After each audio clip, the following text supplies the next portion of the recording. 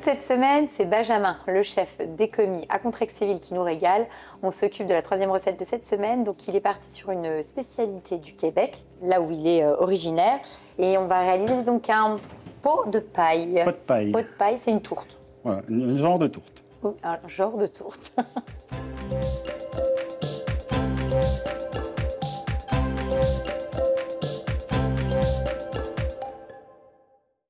pour réaliser notre euh, pot de paille, donc cette fameuse tourte euh, euh, du Québec, donc on a besoin de... Poularde confite. D'accord. Pour la... que- simplement- des cuisses que tu as fait confire. Voilà. Et là, tu as Que j'ai des os, voilà, que je récupère la chair, que je coupe en cubes. D'accord. Et on va faire un genre d'appareil euh, à boucher à la reine, en fait. Ok. Ça ressemble à un appareil bouché à la reine. Voilà, Ça donc marche. on met, je vais mettre des légumes. Donc là, je vais avoir euh, carottes, céleri, oignons, un petit peu de fond de canard, crème et persil. Ok. Donc là, on a coupé, on passe tout On de a suite sur le chaud. Oui, on va passer ça sur le chaud. On va mettre euh, déjà les légumes.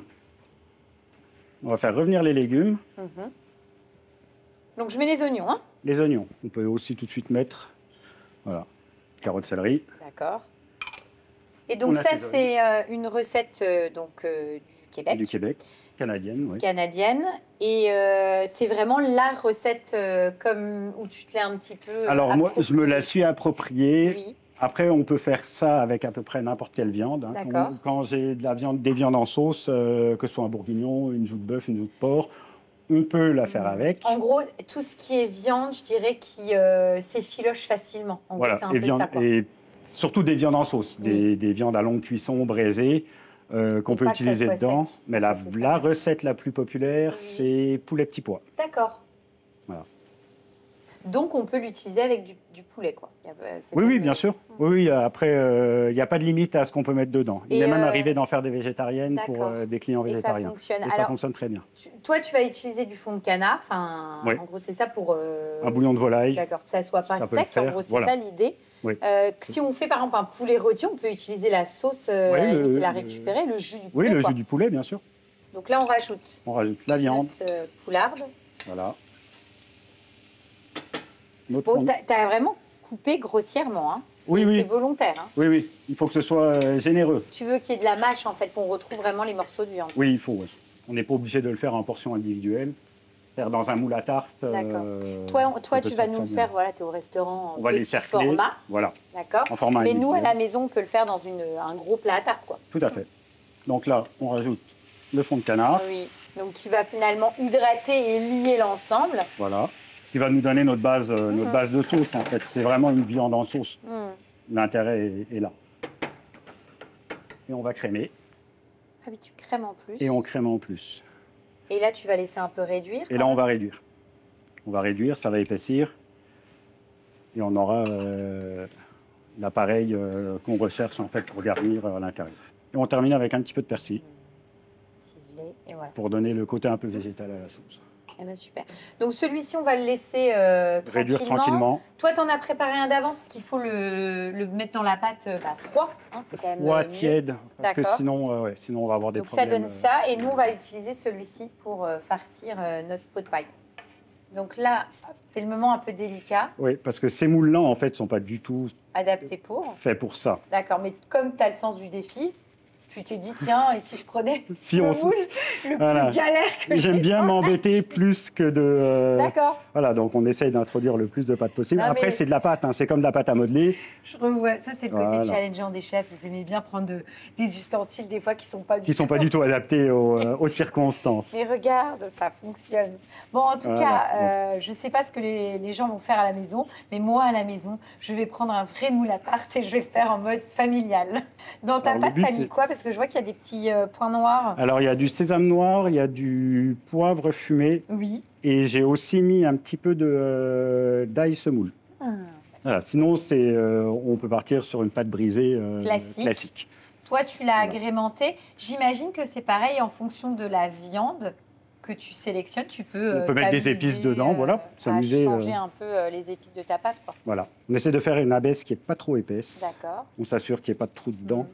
Parce que vu que c'est une viande en sauce qu'on va mettre dedans, Oui, il ne faudrait pas que ça fuit. Donc là, on va mettre notre farce. On va garnir. Hein Voilà, donc On est généreux. on est généreux. Et il ne reste plus qu'à sceller. Et on ferme avec le petit couvercle en pâte. Alors moi, pour être sûr que la soudure soit bien, bien, bien, je ne refais pas un rond dessus en fait. Je pose. Et donc là, c'est bon.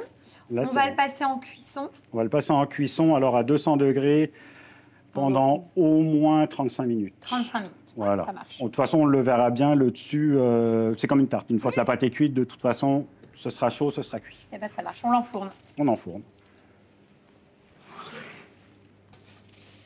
Donc voilà le résultat après euh, 35 minutes dans le four. Donc on va les démouler. On va les démouler. Je te laisse faire. bon, je le rappelle, hein, euh, à la maison, euh, l'avantage c'est quand on l'a fait dans un, dans un grand plat à tarte, c'est plus facile, on coupe des parts. Et, et donc on y va, hop, en assiette. Et j'allais dire, et on déboule. Les catastrophes, Non, regarde. magnifique. Magnifique. Donc au milieu de l'assiette, J'ai fait des petits œufs de caille au plat d'accord. Pour mettre au-dessus, d'accord. pour mettre au-dessus. Mais ça aussi, ça se fait, euh, c'est comme ça Non, ça c'est ta, c'est ta petite, euh, c'est ton petit ajout C'est personnel. ma- oui, ça c'est mon ajout C'est ta personnel. petite euh, touche Voilà. perso. Là, c'est vraiment une, euh, un dressage tout en sobriété, puisque l'intérêt, en fait, c'est de Oui, bah, découvrir ce qu'il y a à que l'intérieur. On va le couper et forcément, on va avoir toute la, la garniture avec. euh, on aura un petit peu de sauce hein, qui va couler. Alors normalement, il y aura un petit peu de sauce qui devrait euh, couler. Ça marche. Eh ben, on va goûter. Donc là, moi, on y va, on coupe vraiment. Voilà, on tape dedans. Là. Ok. Voilà, Oh. on a quelque chose de... Ah ouais, ça a l'air trop bon. Mmh. C'est faux. Ouais, c'est bon, mais je suis chaud. c'est très bon. Bah, enfin, euh, je doutais pas du résultat. On est sur, euh, bah voilà, une pâte. Forcément, on a de la viande, de la sauce. C'est gourmand à souhait. C'est trop, trop bon. Franchement, c'est vraiment top. Euh, une recette comme ça, là, on l'a fait en entrée, comme ça. Mais, Oui, euh, mais ça convient parfaitement en tu mets plat. une petite salade, Voilà. le plat, il est fait, quoi. Donc, c'est top. Tout à fait. Non, c'est vraiment divin. Je vous recommande vraiment de tester cette recette parce que c'est trop bon. On va faire quoi ensuite? Alors ensuite, on va partir sur un cordon bleu au euh, lard du Val d'Ajol et Munster. Tout en légèreté. non, ça a l'air trop bon. Pour les mois d'hiver, ça devrait le faire.